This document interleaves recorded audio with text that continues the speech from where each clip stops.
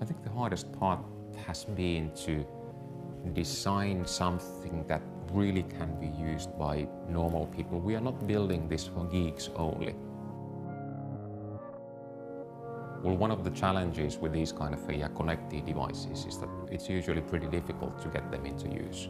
You have the device, you may have an app, you may have an online service, and you have to do all sorts of uh, connection magic. So we've spent really a lot of time and energy in making this first use as smooth as possible.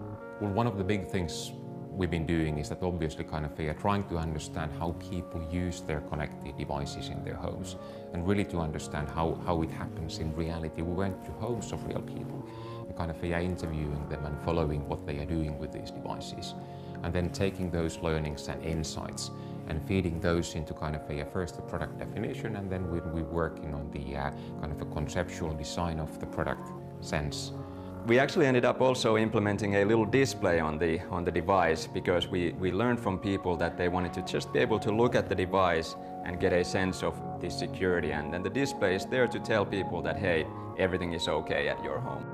You control the device with an application that lives in your favorite smartphone or tablet. And the app is actually very nice. We put a lot of effort in that from usability point of view and design point of view. The app will tell you, for example, if there are any privacy threats or security issues that you need to tackle, and it will guide you how to take care of those. We are talking about something that's quite complicated, quite difficult, and we have, we've been trying to wrap that into a package, digital and physical, that's easy to use.